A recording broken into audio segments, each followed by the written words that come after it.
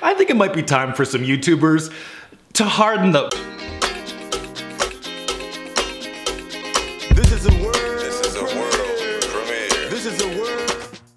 So, hey y'all, this is gonna be another one of those rants that I am certain is gonna get a few feathers ruffled. And then of course I always say that and then I end up saying the shit anyway. Over the past few weeks, I know there's been scandal about lawsuits and not just the Anna Scanlon vegan cheetah lawsuit. I've also been hearing YouTubers complaining because their content is being demonetized. I've also heard YouTubers complaining because their once millions of views per month have gone down by a few hundred thousand. And these are all things that to me smack of one dirty word, privilege. Now, I'm not one of those people who likes to throw the word privilege around. I know that when someone is experiencing a hardship, whether or not it's a hardship that I see as a big deal, for them, it's a big deal. It's something that affects their lives, it affects the way that they are able to operate in the world. If they've grown accustomed to a certain level of comfort,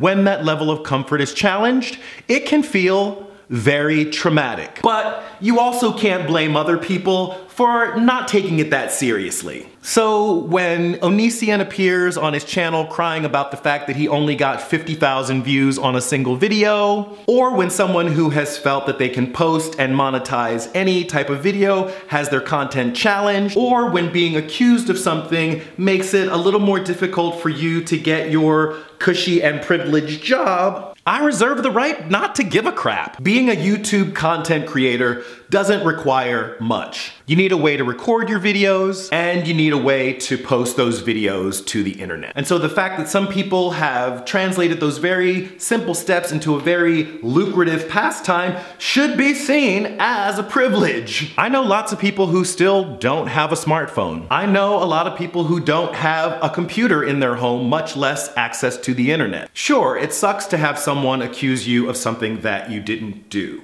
but we have to see things in perspective. For someone who maybe didn't have access already because of their sexual orientation or because of the color of their skin or for whatever reason people are barred entry into certain places, they might be wondering what the heck that person is talking about. I may not have access to a lot of resources, but I still live a relatively cushy and privileged life. And it sucks to have that challenged. But I certainly have to realize that there are a lot of people who have it a lot worse than I do. I also have to realize that there are certain things happening in the world that deserve more of my attention. I'm also not saying that people shouldn't talk about the things that are important to them. Of course you should. That's what a democratic platform like YouTube is all about. But it also means that you should be willing to suck it up when people comment on the things that you say. So yes, YouTube should be more transparent about their algorithms and what content is considered appropriate and not. And yes, YouTube should be a safe place to share one's interests and opinions. So for me personally, I hope that I continue to be grateful for whatever viewers and whatever subscribers I have on this channel